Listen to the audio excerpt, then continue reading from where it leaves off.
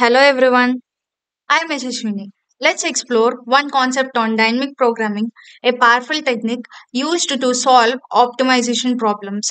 Dynamic programming is all about breaking down a problem into simpler subproblems and solving each subproblem only once, storing the solution to avoid redundant computations. In this video, we will explore Wagner-Fischer algorithm. This algorithm is based on dynamic programming. This algorithm is fundamental in measuring similarity between two strings, which is crucial in various fields such as natural language processing, bioinformatics, and many more. Let's jump right in. It is also known as minimum edit distance algorithm. It tells how two strings are similar. In this algorithm, we will calculate minimum edit distance, which is also known as Levenshtein distance. Levenshtein distance is the measure of similarity between two strings which takes into account the number of insertion, deletions, and substitution operations needed to transform one string to another. Let us see some examples how to calculate Levenshtein distance and then algorithm. Suppose let us consider two strings horse and rose. How many minimum number of operations do you think it would take to transform horse to rose? Okay, if we see this, this can be simply achieved by substituting h with r, then deleting another r present in first string and then deleting e. We are performing three operations which are one substitution and two deletions are taking place. So the minimum edit distance would be 3. Let us move on to another example, intention and execution. The minimum number of operations for this example will be achieved by replacing i with t and then replacing n with x, deleting t, replacing n with c and inserting u. As you can see, the minimum edit distance is 5 for intention and execution. There are many ways to transform one string to another string, but this algorithm helps us to find out the minimum number of operations required for transformation. Now, let's delve into the inner working of the minimum edit distance algorithm. Let's understand how we set up the Wagner-Fischer algorithm. We start by initializing a 2D array which is named as dp of size m plus 1 into n plus 1 where m and n are lengths of input strings. This array will store the minimum edit distance between substrings of two input string.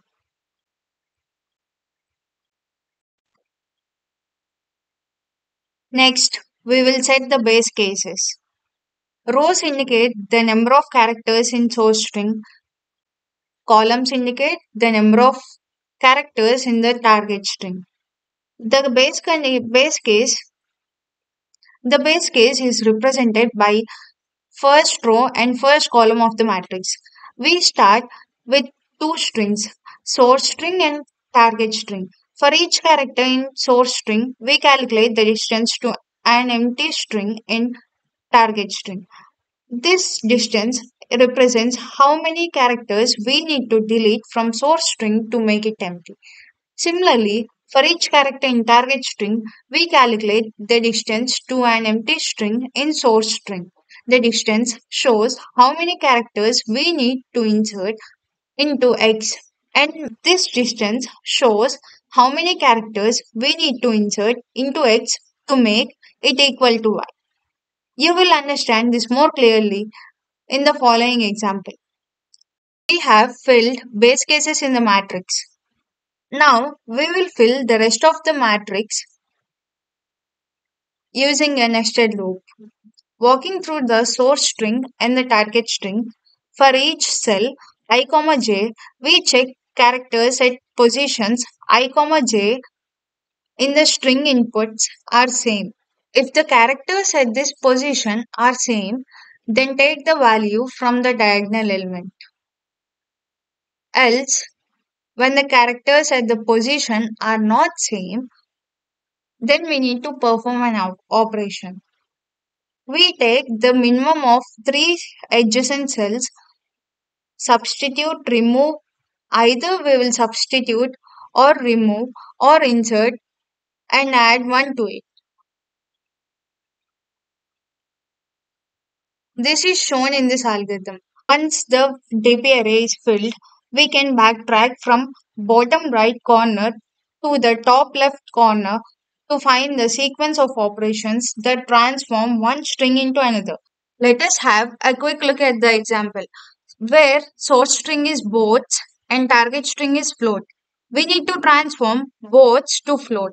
According to the condition, if the characters at the position are same, we will copy the diagonal element. If they are not same, we will we need to find the minimum of three adjacent cells and add one to it.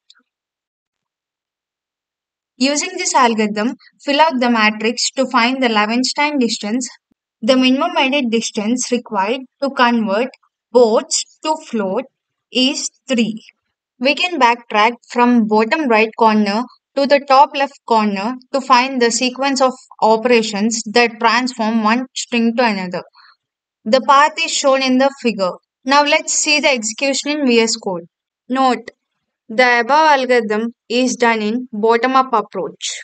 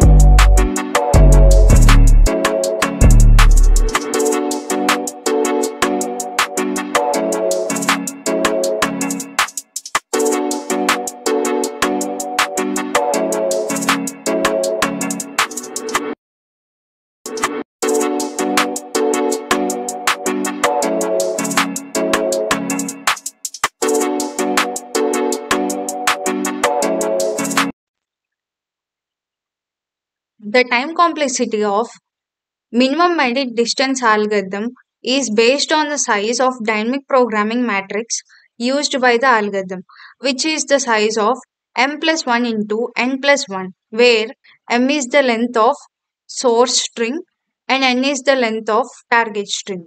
And space complexity and time complexity is given by big O of m into n. Thank you.